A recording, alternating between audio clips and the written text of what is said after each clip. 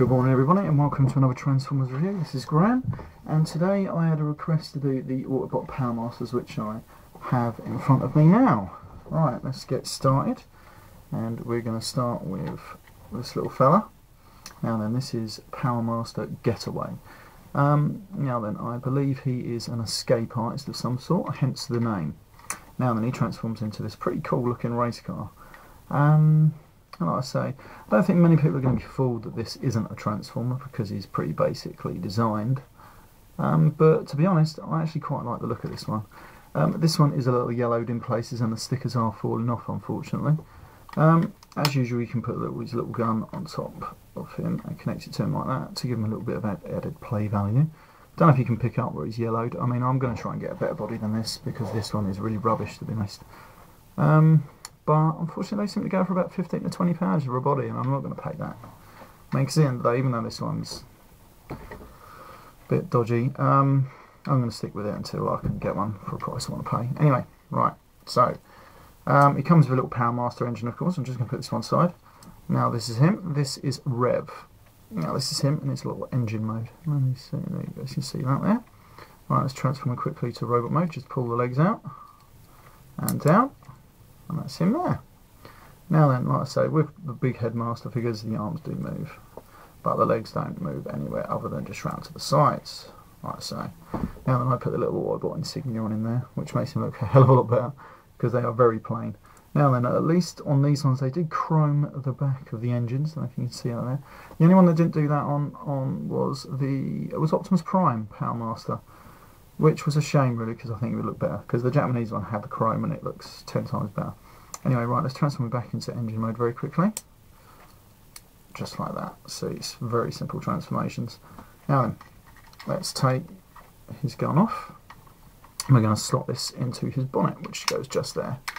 Get around the right way. There we go. Now then, that's how he looks with his engine in. Now it looks pretty good from that view. Now it looks like it's some sort of souped up hot rod, which is always really cool. Right then, I better get on because I've got two others to do. We're going to transform very quickly. We pull that out, flip the legs back, and he's got little grey feet, which we're going to flip out. Like so. Now then, we spin this round. No, we don't need to spin it around just yet. We now make sure that the little, when he's pushed in, he pushes the button, because now the Power Master's obviously unlock, has a locking mechanism. It's just basically a little tab with a little another little tab just holding it in place basically, nothing too complicated. Anyway, we flip this down, and now we flip his little arms out up into place, like so. We get the chest, pull that out, spin it until it's in that position. Then we grab his torso, flip him round, and now get his little arms, pull them down. He has little hands tucked away, which is always good because it makes good use of space. And you don't have hands poking out and visible which is always better for a transformer I find, otherwise they're not really in disguise are they? Anyway, right, we flip that back all the way down to it, well, it can't go any further. Right, his little head is on a spring, so we push that in, on, there we go, and it flips all the way up. Now, I don't know if you can see his head, it is pretty plain. Um, to be honest, I really could have done more with that. But, that is him. Now, his, his robot mode's not too bad. I mean, his legs, well, none of the legs move on any of these. Um, but then again, that's generation one but his arms do move bend at the elbows, allowing you to some sort of aim his gun at you. There we go. But that's about it. I mean, um, they don't look too bad, but obviously by today's standards, these are rubbish. But back then, and to be honest, I do like them. They look pretty cool when you stand them next to each other. Right, let's get away. Put him down. We're going to move on to Joyride. Now this is Joyride. He is a dune buggy. Um, what else can we say about him? I like the way you can put his little gun on top there because it does look pretty cool. Now then, he does roll well and he's got really good play value, to be honest, as a car. I mean, it's quite a simple little car. Um, yeah. Now, I don't know too much about his character, um, mainly because, to be honest, I don't really care much for these characters. I mean, they're okay, but I was always more of a Decepticon fan, unless the Autobots looked really cool, but these are just, you know, ordinary cars and stuff. And by then I was growing up a little bit and not really into them that much. I mean, I never bought these as a kid. I bought Darkwing and Dreadwing, but they were just really cool.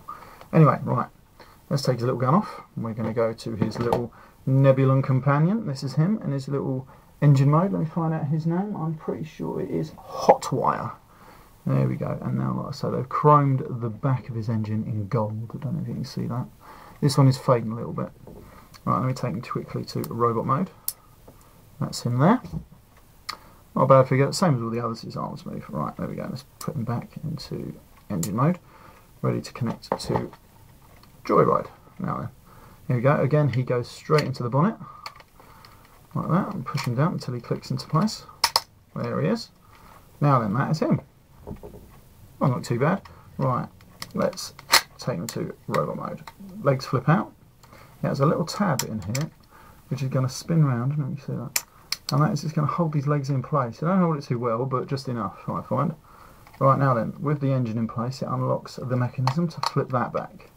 Now then, that will just flip around there for a minute. I'm going to spin the... Oh, that's a tough one. There we go, I'm going to spin the cab section round. So it looks like that, revealing his little head in there.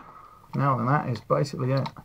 Apart from, again, I've forgot to rotate his torso section round. Now then, that goes in there. Let me finish off moving that into place. And that is him. Um, this robot mode is probably the worst out of the entire lot. That does clip into there, holding it in place. I mean, you can hold his gun, but other than that, he's not really going to do a lot. His arms are pretty rubbish, as you can probably see. Um, but again, you put them next to each other, just standing there on display, they don't look too bad. Um, right, let's just move on, I haven't got much time left. This is Slapdash. Now then, we can put his gun on the top there, as with all of them. And now this one has another added feature, whereas this has an engine piece, because he transforms into an F1 car. Now and this actually goes over his Power Master slot. Now so we take that out, and then we put this one in. I believe he is called Lube. Now then, this is him. Again, some gold chrome on the back there. This is him in his robot mode. Though we've seen these a thousand times, little Nebulon components always change the same. Now we're transferring back into the engine. And again, that little leg comes off. He's a bit dodgy, that one. Alright, so that goes into that. Now I'm going to put it in. And that goes straight in there. Put that in until it clicks into place. If it doesn't, there we go. That's him. Alright, so say it looks with his little engine in. Now that has unlocked him. Now then on this one, we take off this piece, this little spoiler piece. So that's one side. Bit annoying when you have to do that all the time. But now then this one just basically breaks apart like this. Um, these big wheels at the back there raise up to become his arms. Like so, for that, his little hands. Like so. I'm going to flip them around like that. Now then, his legs pull them down and they separate like so. Now then, where that allows this front spoiler piece to come down and form his little waist piece. Now then, we're going to bring these up, and he has a little tab just there. I don't know if you can see that on that camera. But you push these up, and then the little tab just flips around and holds him in place. And that is basically him. Now he has his little power master there. Now then, what you do next is you take the spoiler piece. That has a hole on the back there, and that fits straight into there like so and then you take his little F1 engine and that has two little holes in there. Two little holes in there. Flip that in push that in. So then it gives him well puts at least it's somewhere to store all those bits otherwise it always get lost. Now he puts a little gun in his little hand. And he has a fairly decent robot mode. Again the legs don't move but the arms do bend at the shoulders and the elbows which is always nice and he looks pretty cool. He's a little bit short but you know. Oh, okay. Overall, I'll give these about a 7 out of 10 all, all told. Um, it'd be slightly better if Slapdash, uh, sorry, it's not Slapdash, Joyride didn't have such a shit robot mode. But anyway, but this has been them, the Autobot Power Masters. Like I say, get them if you really want them. I wouldn't go nuts on them. But, I mean, Getaway looks pretty cool. Um, if you can find a really decent version. This one isn't very decent. But anyway, um, this has been Graham. And I hope you liked this review. Please rate it if you can. Um, and bye for now.